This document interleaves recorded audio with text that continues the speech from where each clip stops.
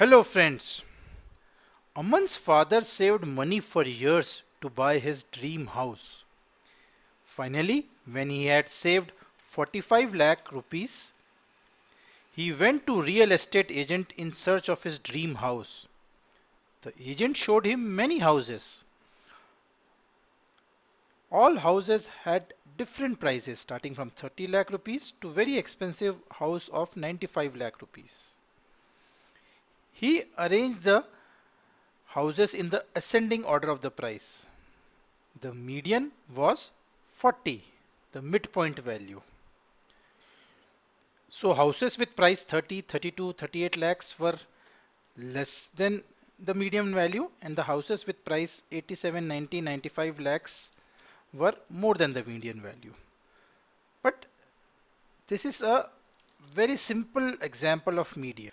Now say this table represents the marks obtained by given number of students in a class test. That is 4 students got 5 marks, 5 students got 10 marks, 6 students got 12 marks and so on. So total number of students is equal to 4 plus 5 plus 6 plus 4 plus 2 which is equal to 21. 21 is an odd number so when we list their score n plus 1 by 2 that is 21 plus 1 by 2 which is 22 by 2 or 11th value will be the median.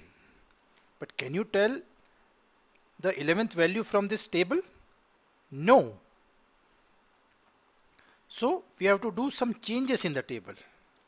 Let's rewrite it like this. Four students got 5 marks 4 plus 5 that is equal to 9 students got less than equal to 10 marks. 9 plus 6 that is equal to 15 students got marks less than equal to 12.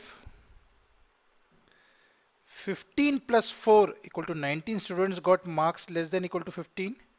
19 plus 2 which is equal to 21 students got less than equal to 20 marks.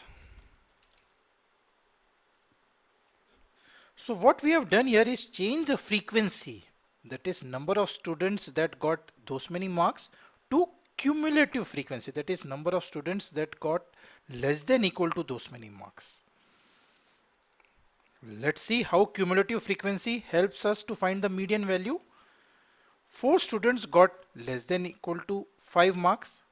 So we write 5 4 times. 9 students got less than equal to 10 marks.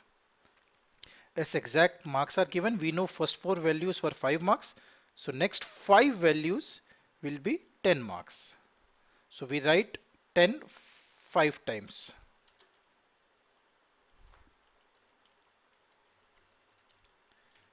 Same way 15 students got less than 12 marks. So next 6 values will be 12 marks so that the total comes to 15 students. Cumulative frequency for less than 12 is 15 and we know median is 11th value so median value is 12 marks. So while we were finding median we need to know the position of values as value of median depends on the position. Cumulative frequency keeps track of the position. It is sum of frequencies till that value. To revise to find median of ungrouped data. First we find the median position based on the total number of observations. Then we calculate cumulative frequencies to find where median position lies in the table. And using the cumulative frequency we can know the median position and the value at that position will be the median value.